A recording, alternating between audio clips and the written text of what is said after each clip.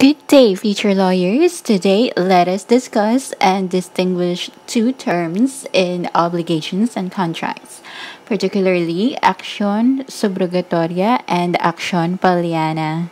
Let's start.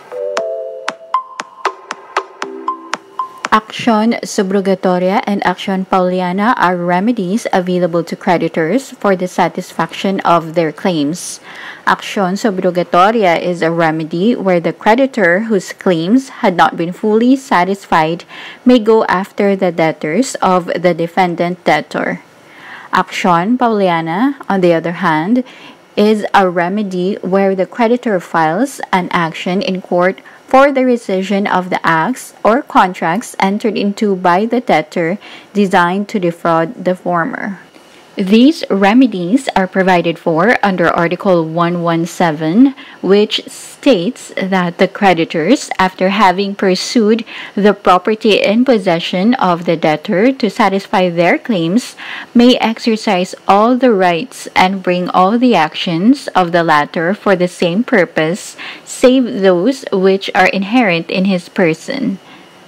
They may also impugn the acts which the debtor may have done to defraud them. As mentioned, accion subrogatoria is a remedy to be subrogated to all the debtor's rights and actions except those that are inherent in his person, that is, the right to demand unpaid credit from third persons who owe the debtor and have not paid him yet. The following are the requisites 1. The person to whom the right of action pertains must be indebted to the creditor.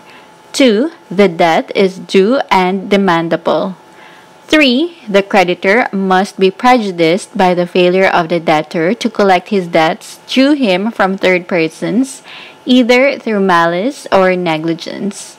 4. The debtor's assets are insufficient or the debtor is insolvent.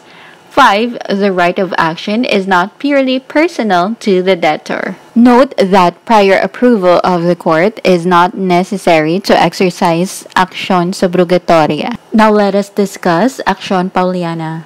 In reference to Article 1381, which states the following contracts are rescissible. number 3, those undertaken in fraud of creditors when the latter cannot in any other manner collect the claims due them. To illustrate Accion Pauliana, in the case of Cheng versus CA, judgment was rendered against Cheng for breach of contract of carriage after an alias writ of execution was issued and despite earnest efforts, the sheriff found no property under the name of Butuan Shipping Lines and or petitioner Khe Hong Cheng to levy or garnish for the satisfaction of the trial court's decision. It was discovered that petitioner Cheng no longer had any property and that he had conveyed the subject properties to his children. Philam filed a complaint for the rescission of the deeds of donation executed by petitioner Cheng in favor of his children and for the nullification of their titles, alleging that petitioner Cheng executed the aforesaid deeds in fraud of his creditors, including respondent Philam. The Supreme Court ruled in the same case that an accion pauliana presupposes the following 1. A judgment.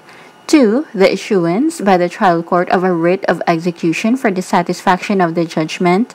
And 3. The failure of the sheriff to enforce and satisfy the judgment of the court. It is important to note that an action publicana accrues only when the creditor discovers that he has no other legal remedy for the satisfaction of his claims against the debtor other than accion pauliana.